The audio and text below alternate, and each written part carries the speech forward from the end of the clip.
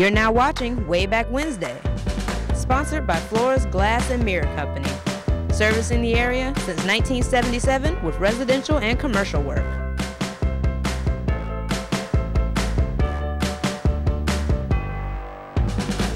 Good evening, friends, and welcome to another episode of Wayback Wednesday. I'm Randy Adcock. Good to have you with us tonight.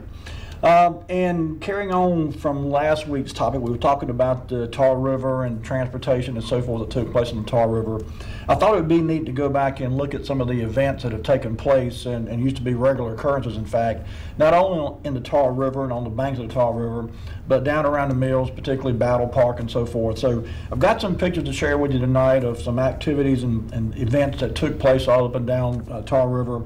But before we get into that, there was a picture that was sent to me by a viewer a couple, three weeks ago now, maybe, and somehow or another I neglected to get it into the bunch to share with you, the viewer, and I wanted to make sure I did that tonight before we got into anything else. And so this is a picture that was sent in to us by uh, Dean Jackson, uh, Dean Mosley Jackson. Some of you know her.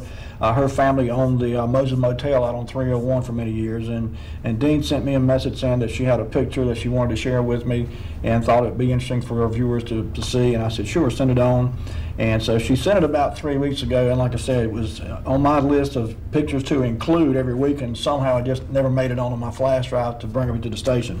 But I've got it tonight, and Lee, if you if you've got that um, those pictures queued up already, go ahead and put that first picture up, item number one.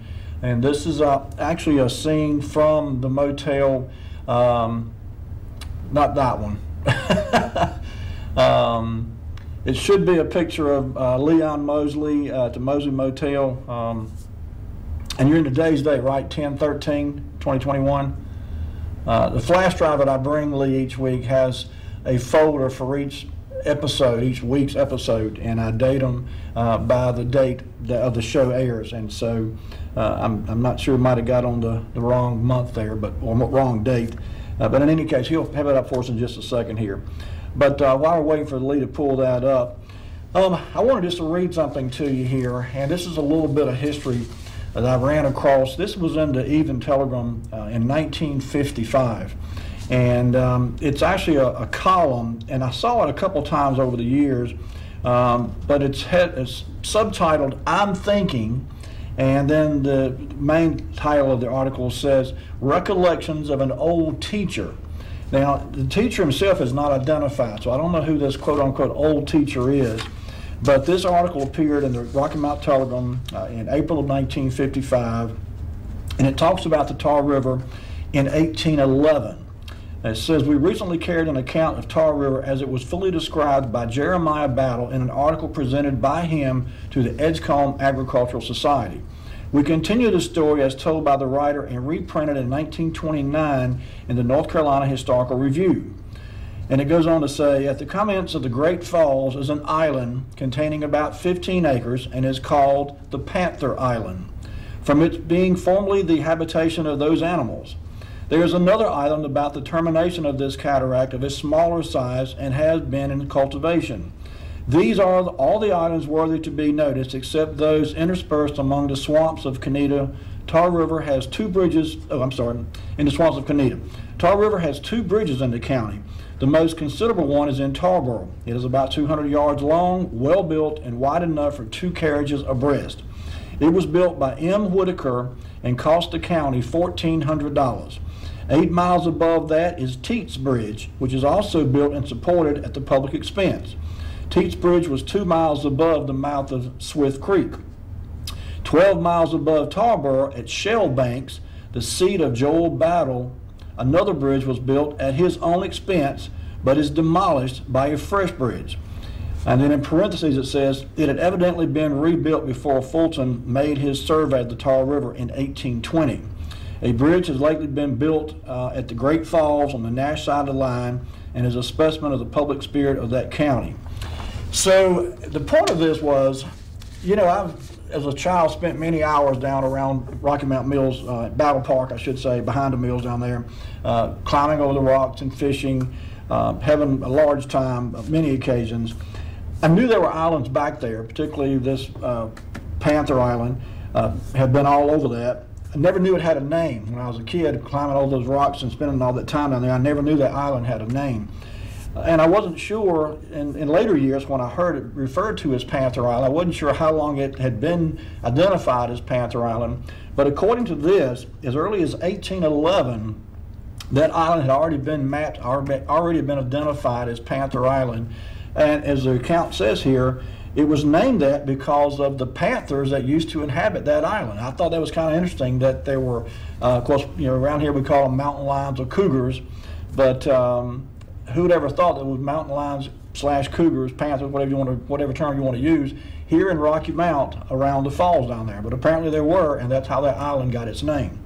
So anyway, I just thought it was a neat bit of history about the area down there around uh, Battle Park and the falls and all and so forth. So anyway, Lee, have we got our pictures together yet?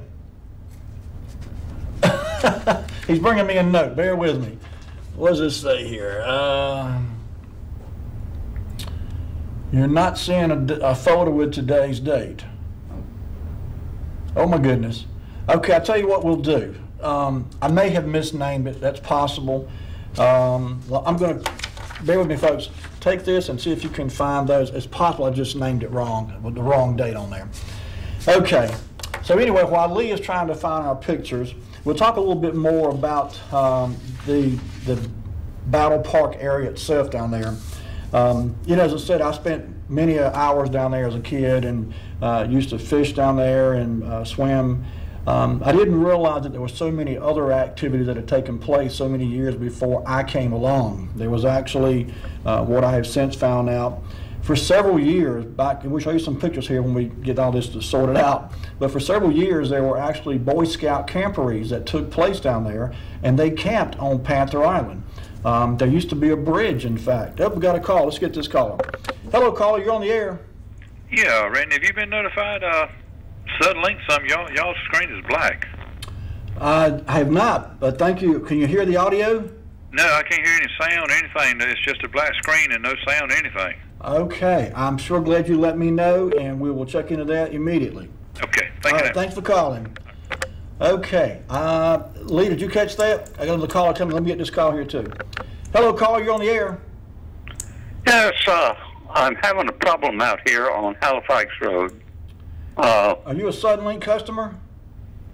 A what? A Suddenlink? You get your uh, television over Suddenlink? Oh yes, and uh, I just want to let you know that your program is on a freeze frame. There's no audio and no motion. Yep, we but, just, uh, just, had another caller call and tell us the same thing. I'm not sure what's going on. We're looking into it now. It, it may be something going on within Suddenlink's equipment. Um, okay, well, we enjoy the program, so if you can fix it, please do. We was we're working it right now. Thanks for calling in. All right. Okay. All right. Uh, another call. Let's get this caller. Hello, caller. You on the air? Hello. Whoop, I think we lost him. Okay. Um, Lee, are you seeing an outgoing feed? keep going in and out. Okay. All right, I do apologize, folks. We seem to be having some technical difficulties. We're not sure right now whether it is uh, our uh, equipment here or within Suddenlink or something else. We're, we're looking into it, see if we can determine what's going on. I do apologize. Um, if you can get the signal, if you're able to watch us, give us a call and let us know. 407-1111 is the number. I just want to know if we're getting out at all. So if you're able to, to see uh, the image and, and hear audio and so forth, give us a call let us know. Uh, we may have more problems than we were aware of. Um, in any case, until we hear otherwise, we'll keep going with the assumption that we're on in some degree. So I was talking about Panther Island and, and spending time down there. Um, as I said, I was not aware that there was a bridge at one point uh, going out to the island uh, in 1949, I think it was, and we've got I've got pictures of that bridge, and we've got some information to share with you um, if we can get it all together here but there was actually a, um, a, a bridge that was deemed to be unsafe. And because it was deemed to be unsafe, the bridge was torn down. I think it was 1949. And so, with that being the case, um, it was never rebuilt. So there, there's no bridge now, and has not been since that one was torn down. And so, uh, but in addition to the bridge going out to the island, there was also a stage out there, I understand. We've got a picture somewhere of, of a stage where there were performances that took place out there. There were bands that would go out there and set up and play. Uh, they had plays out there, in fact. And so it was just a, there was a lot of activity out there on Panther Island that we just didn't that I didn't know about, and uh, I found out quite a bit of things about that I was not aware of. So I tell you what, um, let's take let's take a quick break and see if we can nail down first of all our pictures and secondly what's going on with our signal. I'm not sure we're getting at it all. So folks, bear with us. We're obviously dealing with some technical difficulties here, and we're not sure where they're emanating from, but we'll try to nail them down and get it squared away. Uh, so don't go to where we'll be right back with more Way Back Wednesday. Service in the area since 1977 with residential and commercial work.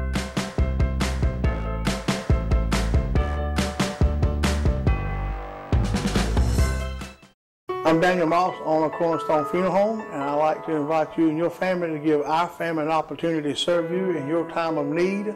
And we offer a full line of funeral services, everything from visitations to graveside services to cremations on site with a live crematory, as well as a banquet hall to meet the catering needs of our families that we serve.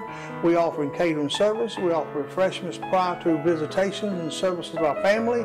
And we want to invite you to come and experience the difference here at Cornerstone Funeral Home.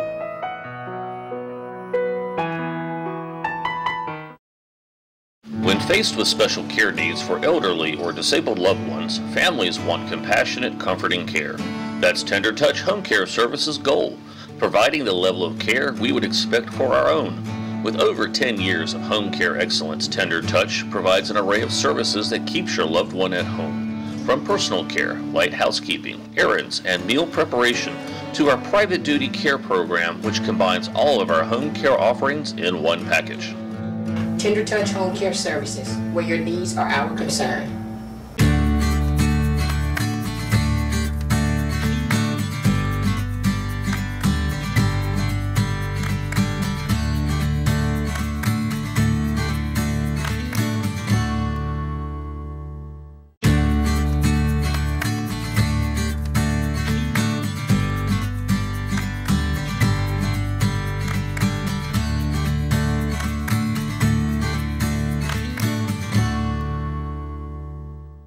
You're now watching Way Back Wednesday, sponsored by Flores Glass and Mirror Company, servicing the area since 1977 with residential and commercial work.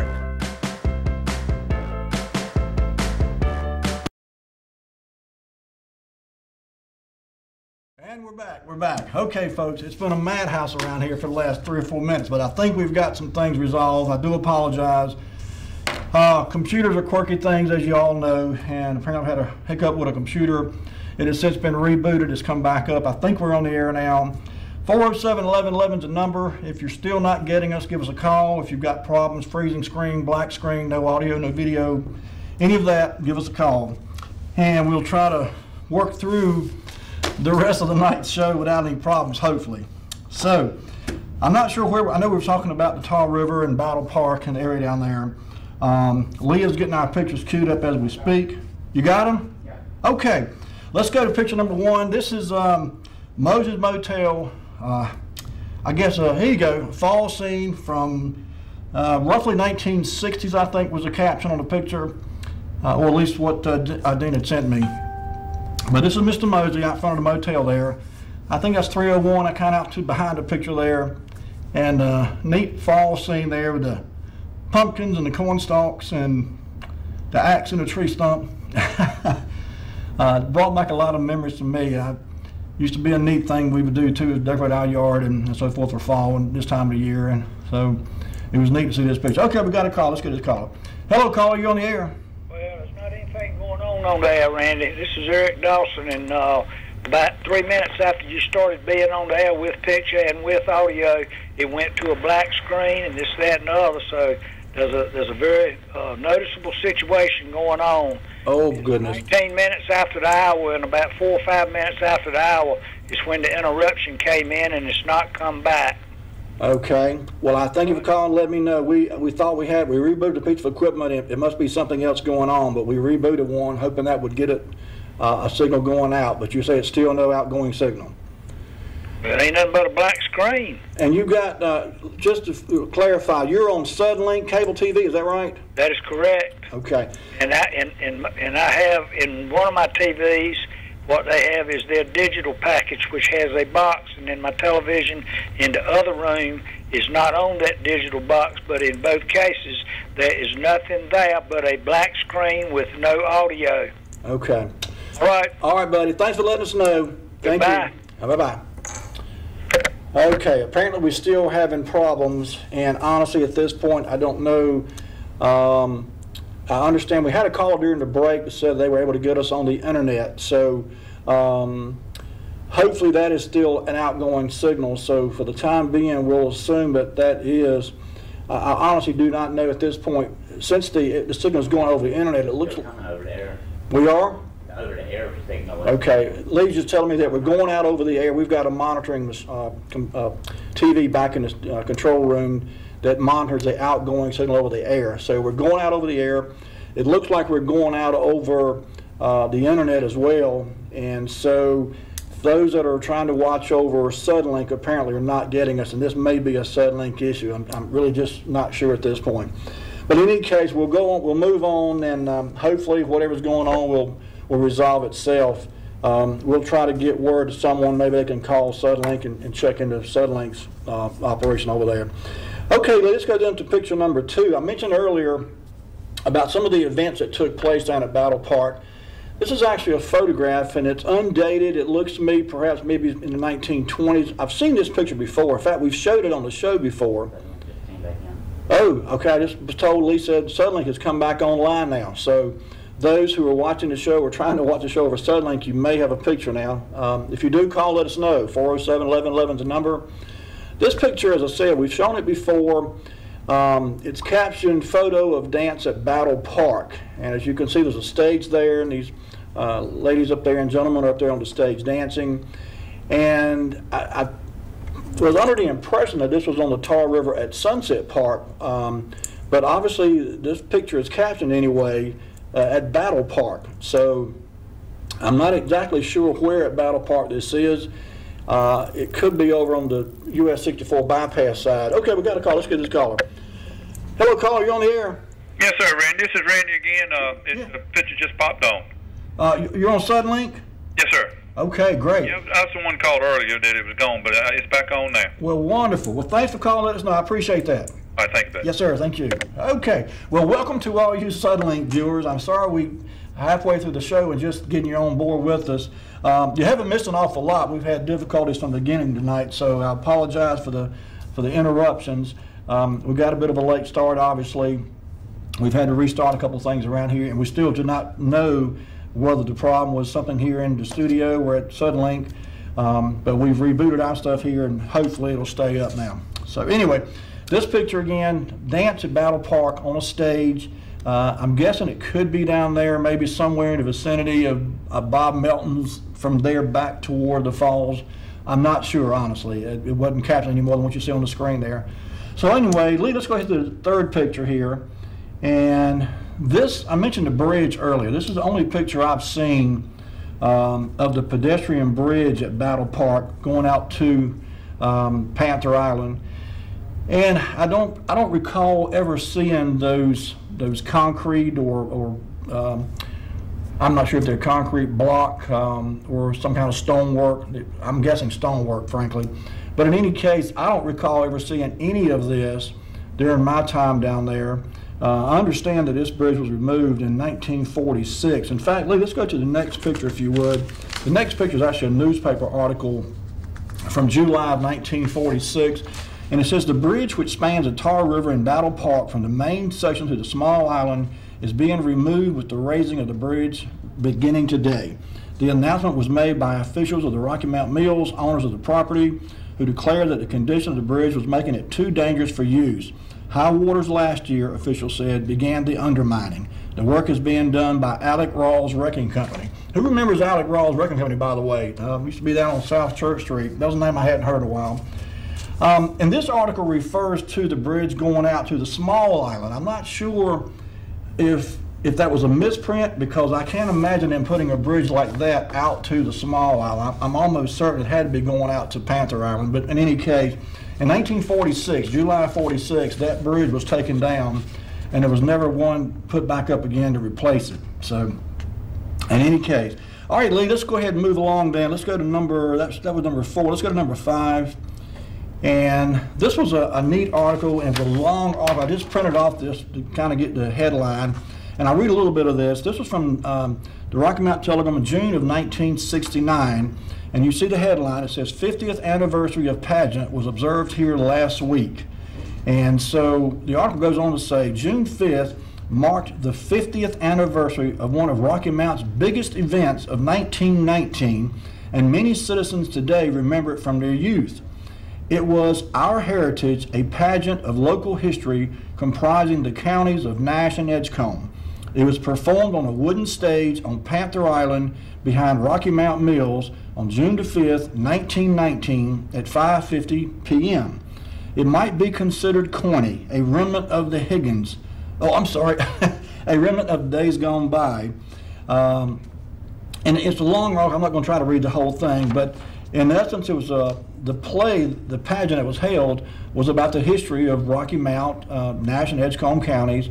And again, it was held in uh, 1919, and it was actually held on a stage out on Panther Island. So again, there was a lot of events that took place out there on the island. And apparently at one time it was much more developed than I ever remember seeing it being as a child going down there uh, back in the 1960s and 70s. So anyway, okay, let's go ahead and lead to the next picture. Um, item number six is a girls' day. I mean, I'm a day camp for girls, and this is a not a great picture. I do apologize. This come out of the Telegram too. This is from 1941, June of 1941, and basically the caption. I'll read that to you. It says, "Plans are being made for the opening of the day camp at Battle Park on July 1st. The camp is sponsored by the Girl Scouts and the City Recreation Department." Registration will close Saturday. The camp is open for all girls between 7 and 18 years of age. Shown in the picture, left to right, are Robbie Arrington, Winky Stokes, and Winky Harris. So anyway, um, again, it's another event that took place down there at, the, at Battle Park. And I saw references I mentioned earlier about the Boy Scouts. I think, Lee, let's go to the next picture because the next picture uh, talks a little more about the, the Boy Scouts and, and, and their um. Now, this particular picture here is dated from uh, May of 1937, and this gentleman here, Mr. James, Dr. James West, um, was heading up the Boy Scout camporee that took place down there. But um, I wanted to read a little article here too about the camporee from 1937, and it was called the Eagle Trail. Uh, it says, Scouts, you just as well get used to the word camporee because it's going to be used a lot between now and April 30th. The editor went to the first of a series of district meetings Friday, which started at 4 o'clock at the Chamber of Commerce and ended at 9 o'clock at the Court of Honor, and the camporee was mentioned often at each meeting, uh, more often at each meeting than any other uh, event. The biggest thing the district executive committee had to do was to select a site. And here's real news because the site hasn't been mentioned in public before. The site will be in the cradle of Rocky Mount, Battle Park, down by the falls over on Panther Island, where the roar of the falls will tuck you to sleep at night and the noise of the birds will get you up in the morning.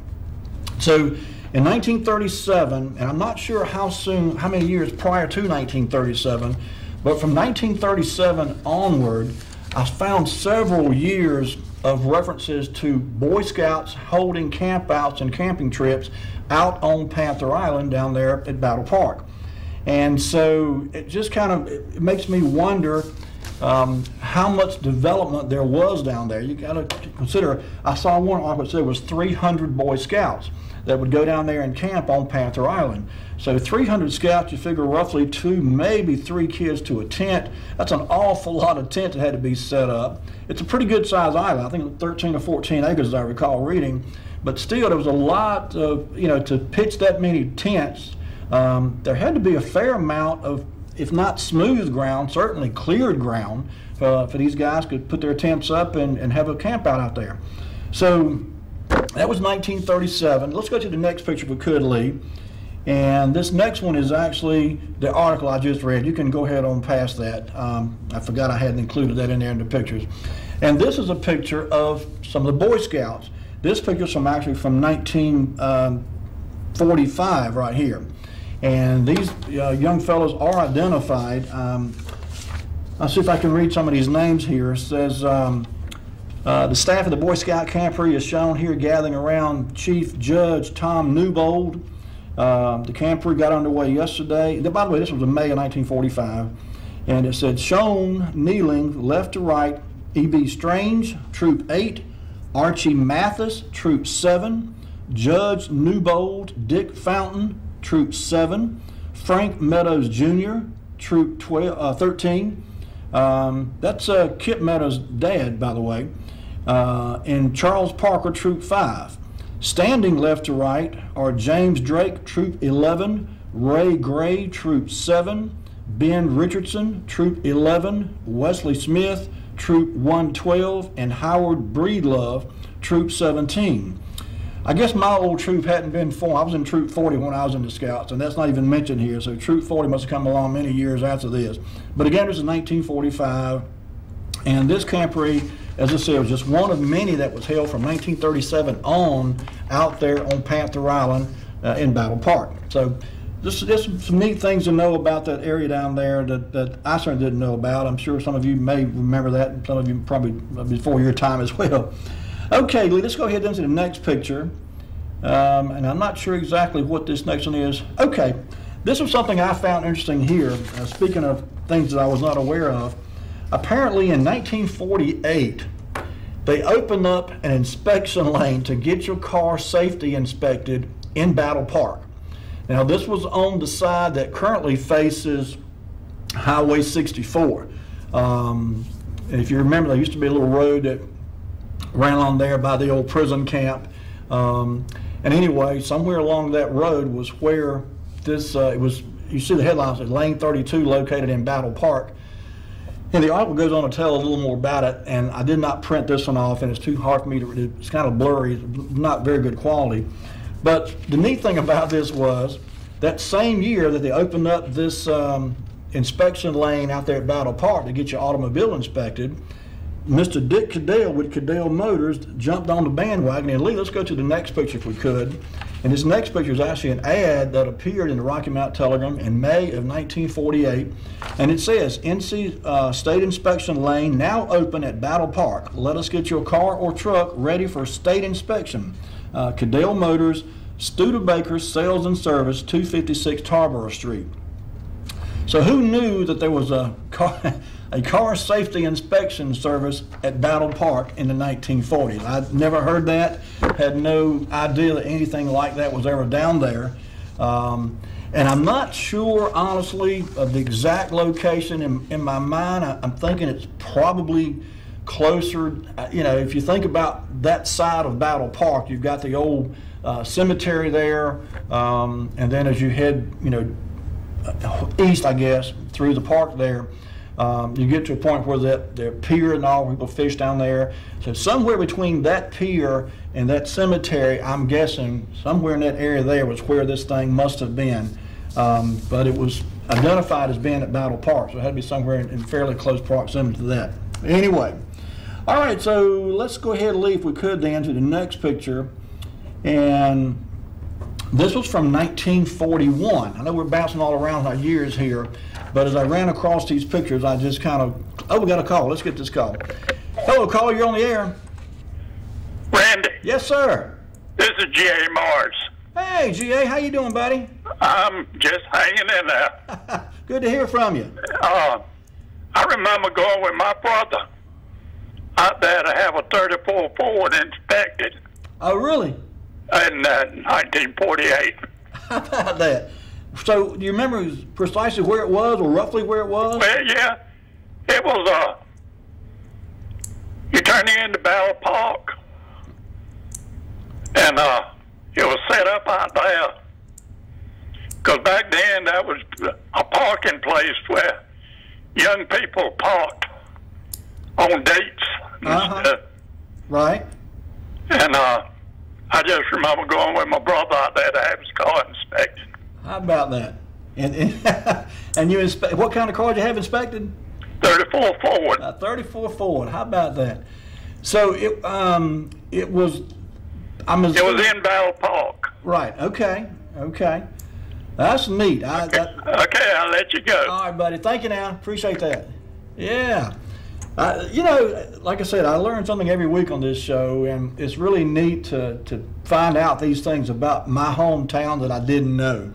And um, so, anyway, I appreciate the calls and, and the, the memories of you, the viewer, that always makes the show more enjoyable to me from my end, anyway. The picture you see on the screen now is from October 31st of 1941. And I know the picture quality is not too good, but I'm going to read the caption to you because it's, it's an interesting bit of history here too. It says, some of Rocky Mount's real old timers lined up in Battle Park yesterday afternoon to inspect a DAR, that's the Daughters of the American Revolution, bronze tablet commemorating the site of the city's first post office.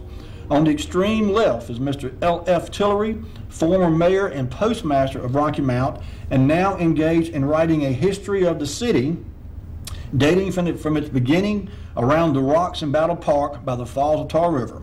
Next is T.T. Thorpe, another former mayor and also a former state senator from Nash County. Beside the tablet is Mayor J. Q. Robinson talking uh, to Micajah Petway, I'm sorry, talking to Mrs. D. M. Pearsall, chairman of the committee which erected the marker. On the right is Mrs. R. T. Fountain, uh, regent of the uh, Micaiah chapter of the DAR. And this commemorative plaque, um, and I've not been out there to try to locate this. It seemed like to me, I, I remember seeing this in years past. Um, and I think it was on one of those great big huge boulders out there. But it was a bronze plaque that um, showed the location of the original post office out there at Battle Park. Uh, I don't know if it's still there, frankly. I, I, need to go back out there and look and see because I had forgotten all about, until I saw this, I'd forgotten all about that plaque that was out there. Um, it may still be there. I don't know if anyone's been out there recently and, and seen that plaque. Um, I was out there not too long ago, but I didn't go to that part of the park. I was actually over there by the falls themselves. Um, speaking of which, and I, and I, apologize for not bringing those pictures. I took some pictures while I was there. Um, I remember as a child my grandfather um, telling me, and he he worked 41 years at Rocky Mount Mills. He lived on Spring Street. He and my grandmother, and he was just a, a fountain of knowledge about that whole area down there around the Mill Hill and Rocky Mount Mills and so forth. But he told me that there was originally a wooden dam down there, um, kind of inward from where the the stonework and, and concrete dam is today. And so I went down there last week, and I, had been there before and seen the remnants of this old wooden dam. Oh, we got a call. Let's get this caller. Hello, caller. You on the air? Randy. Yes. Uh, I was calling about the uh, inspection station in Battle Park. Yes, sir. I remember back when uh, my dad used to carry his car over there. His, he had a 34 Ford also. and that was located on one of those little paths that go in into the park. Uh huh. They had, had a cement pad in there, and if I remember correctly, if if you had a windshield that wouldn't pass inspection, they'd just break it out and keep on going. well, how about that? Well, that's neat. I, that's something I never knew about. I never knew there had been anything like that anywhere near Battle Park, and certainly not in the park. So uh, that, that's neat. Okay. Yeah. All right, buddy. Thanks for sharing. Yeah. All right, we'll see you. I, I just realized we've been the whole show because we went the first 10 minutes without a show. So I reckon we'll take a commercial break and get some word in from our sponsors. So, Lee, let's go ahead and, and go to our commercials. And um, folks, don't go anywhere. I think we're back up and running now. And so stay with us. Uh, we'll be right back after these words from my sponsors uh, with more Way Back Wednesday.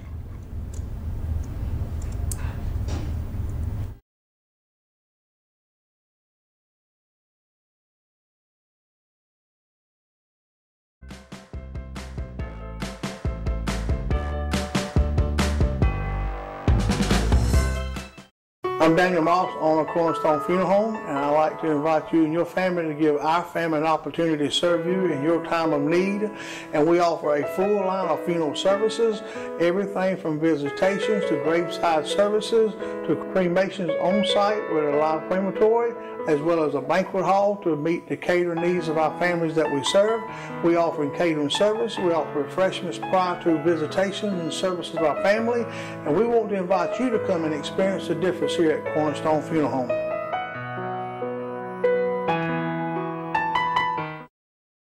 When faced with special care needs for elderly or disabled loved ones, families want compassionate, comforting care.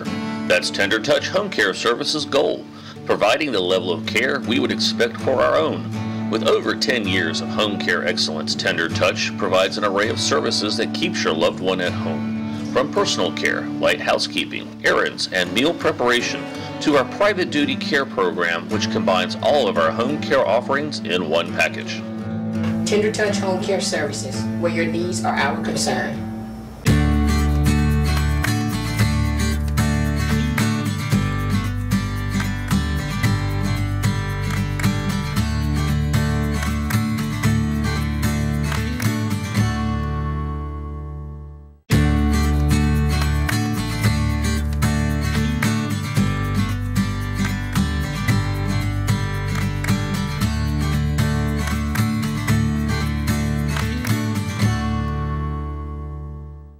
You're now watching Way Back Wednesday, sponsored by Flores Glass and Mirror Company, servicing the area since 1977 with residential and commercial work.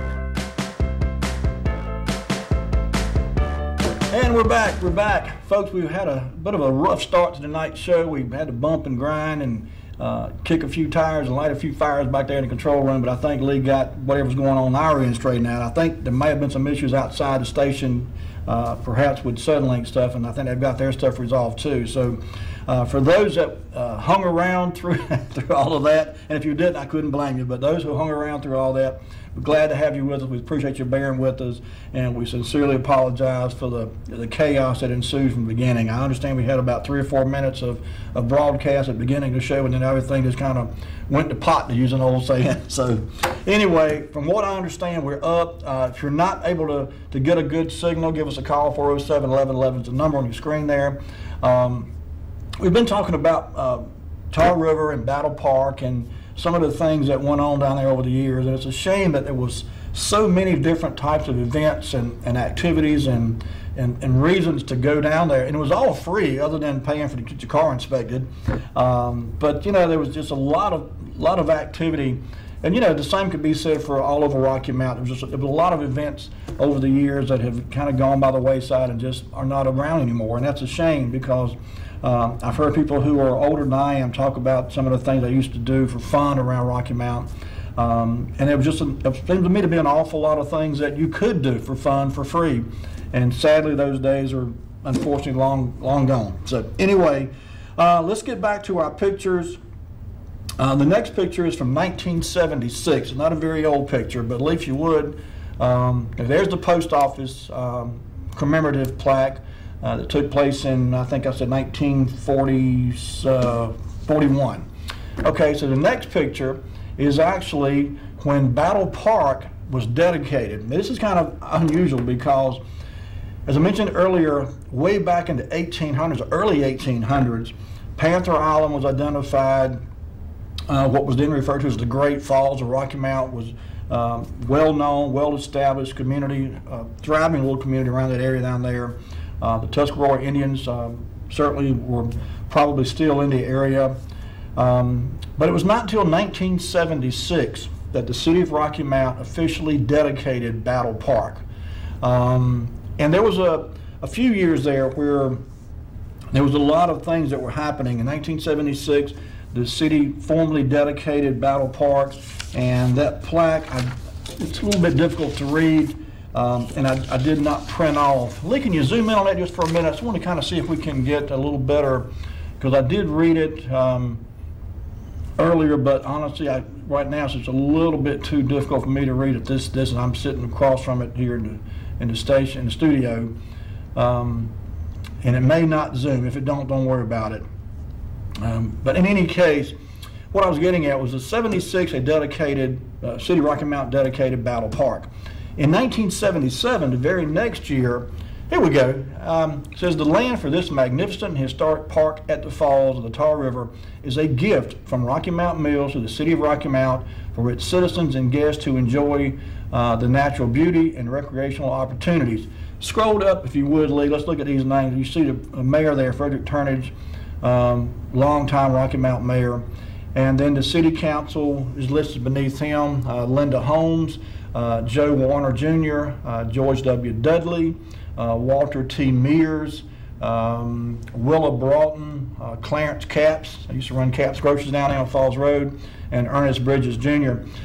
So, um, like I said, this was in 1976. Well, in 1977, the very next year, um, the uh, Confederate monument down at the falls was rededicated.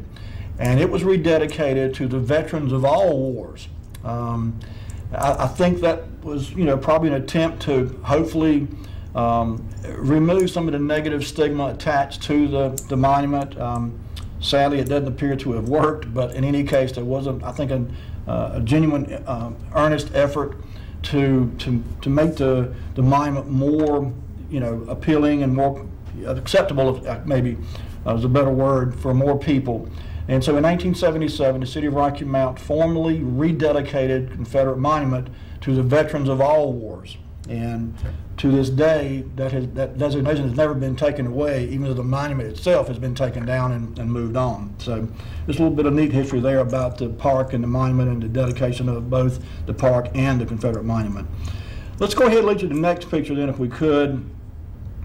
Um, this is actually from uh, Nash County Travel and Tourism brochure I found.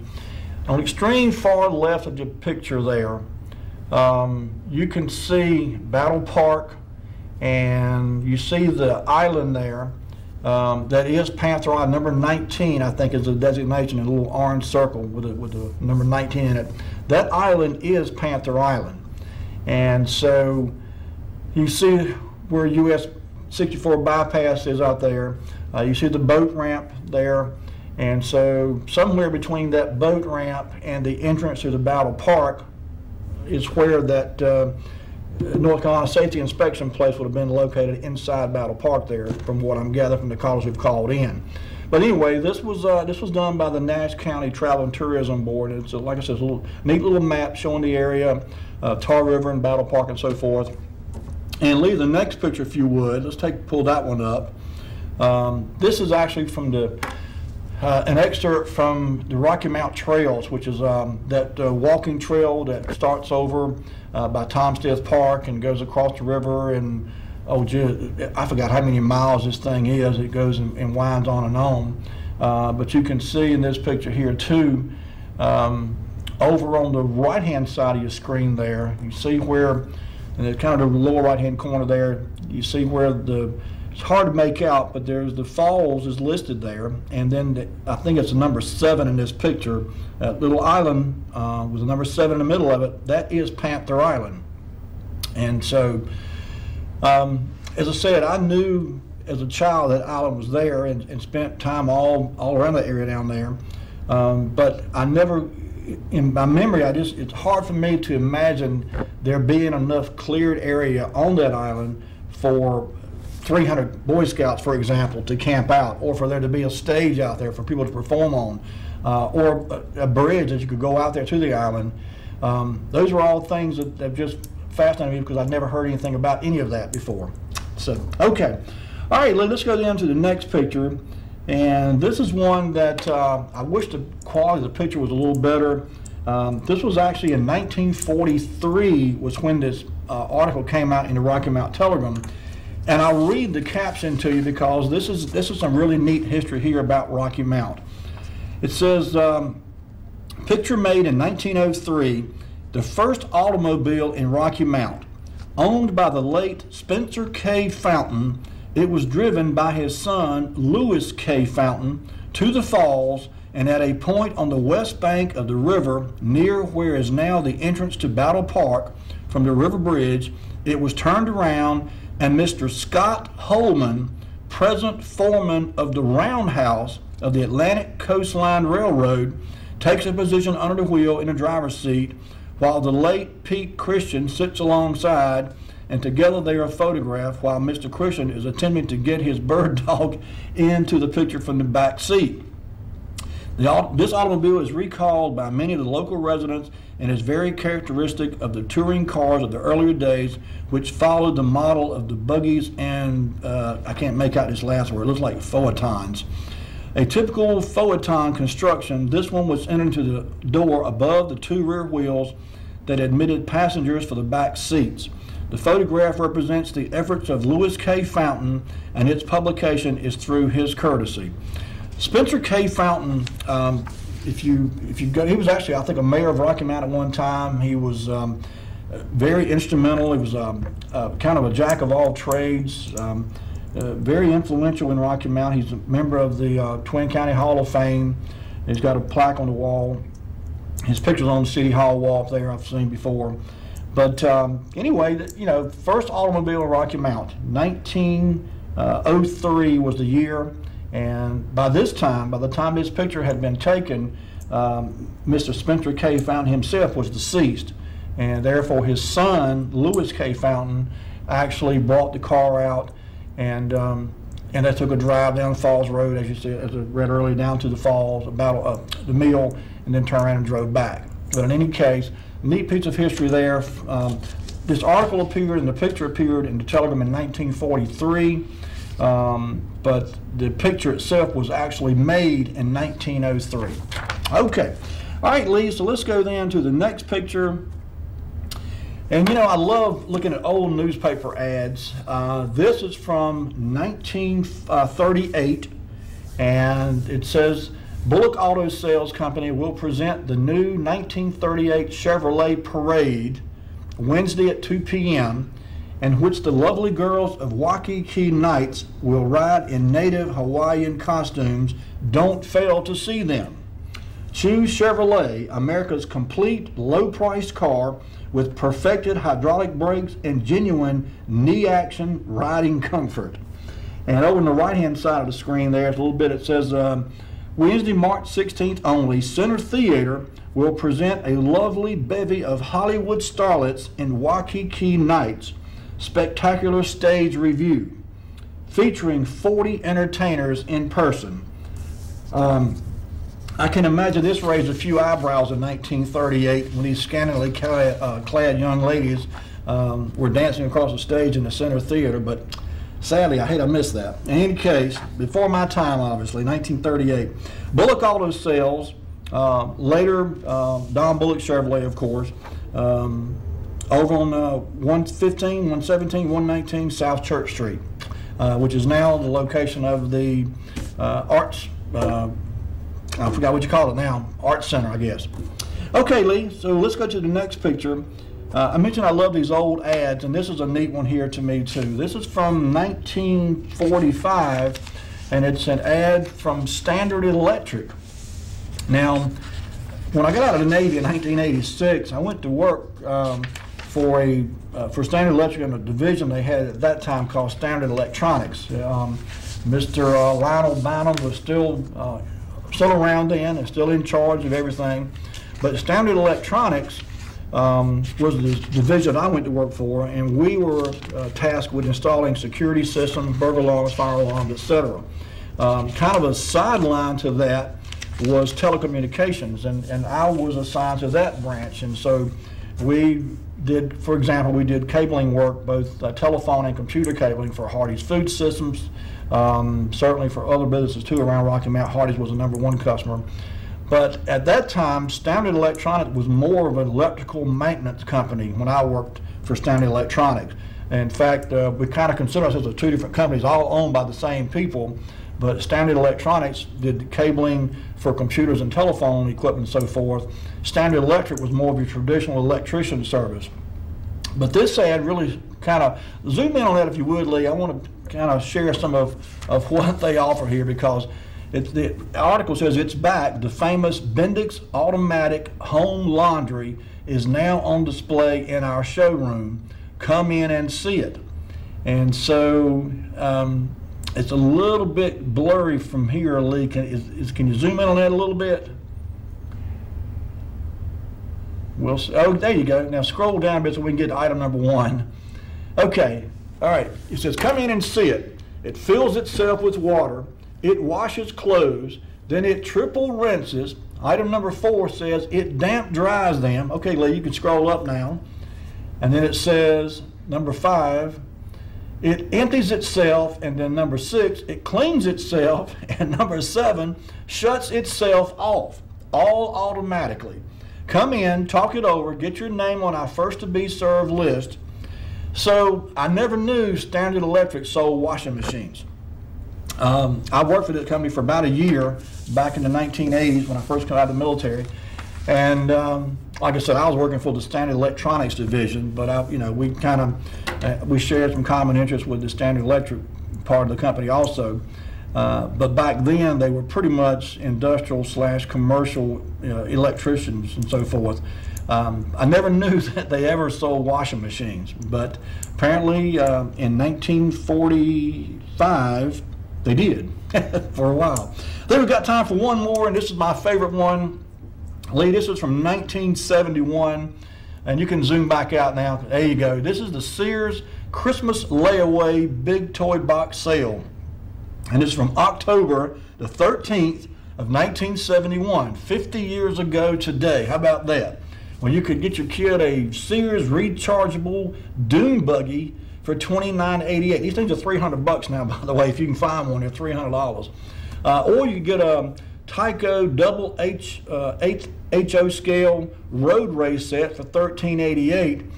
I think I had one of those actually, probably uh, sometime around this time in 19, like late 60s, early 70s. I think I, I know I had one. I don't know if it's this exact one or not. But quite often our Christmas did come from Sears.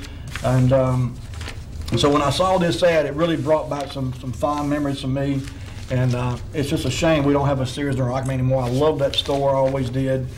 So anyway, Lee, bring it back to me. Folks, we run slam out of time. I wish we had more time to, with you tonight, but um, I'm so glad we were able to, to have you with us. And again, I apologize for the technical glitches that we had at the beginning of the show. We still don't know, honestly, whether uh, it was here in the studio or outside that was causing the problem. We rebooted everything just to kind of rule out a problem here. Um, whether that fixed anything or not, we don't know. It's possible it did.